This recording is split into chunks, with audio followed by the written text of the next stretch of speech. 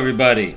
Welcome to our devotional video for the week where we go over our core value in our devotional thought of the week. I hope you are doing well. And we are going to start with our core value like we always do.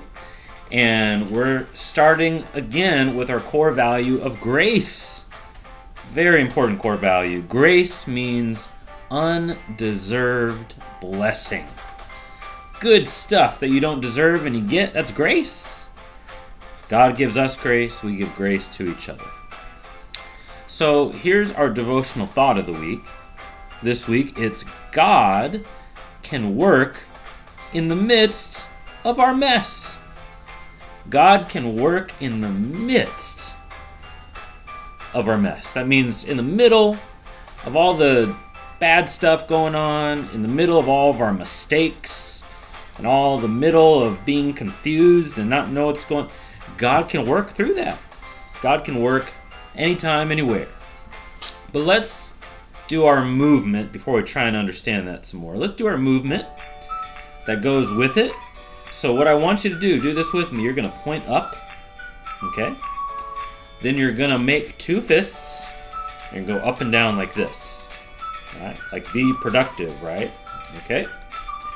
Then we're gonna kind of just point to all the mess in front of us. Look at all this mess. All right.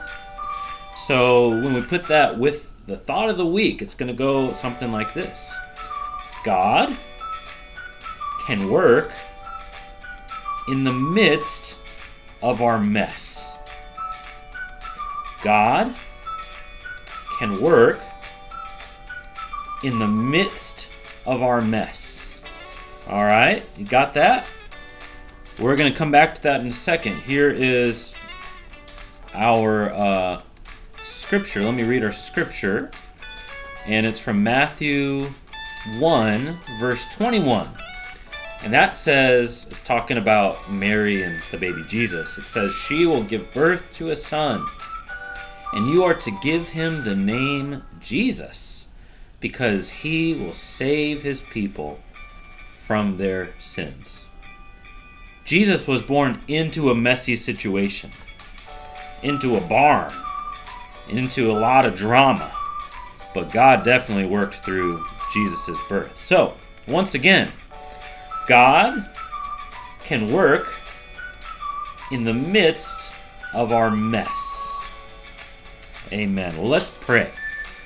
God, we thank you that you can work in the midst of our mess. No matter what's going on in our lives, God, you can help us, you can guide us, you can strengthen us, and you can bless others through us.